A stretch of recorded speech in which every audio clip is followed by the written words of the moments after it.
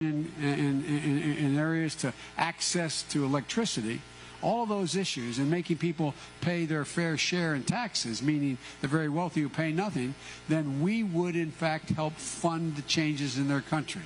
Guess what? Immigration slowed up precipitously. If you notice, there is a net migration to Mexico now. Can, can she understand me? Because I okay, okay, good.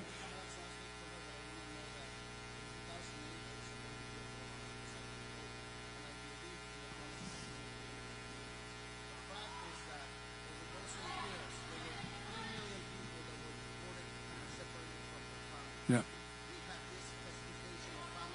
Well, you should vote for Trump. You should vote for Trump.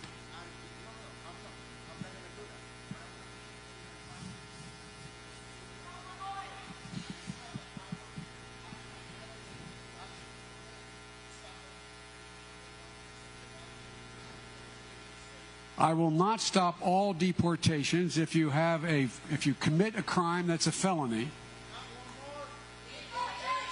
Okay? Well, I got it. I understand.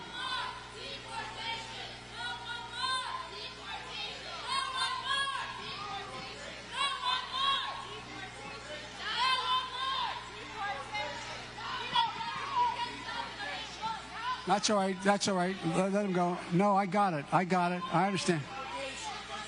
No matter what happens, somebody commits murder, they shouldn't be deported. No, no I'm asking you a question.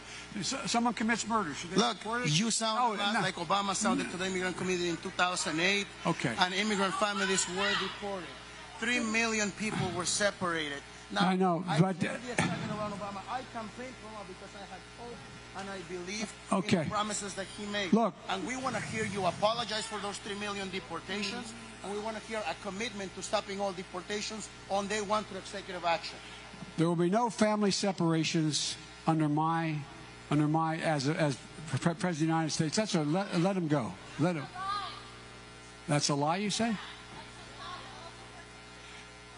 All deportation.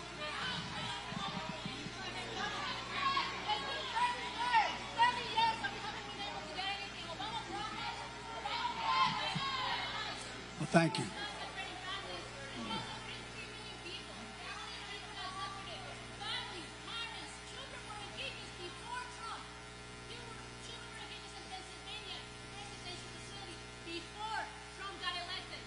But it stopped.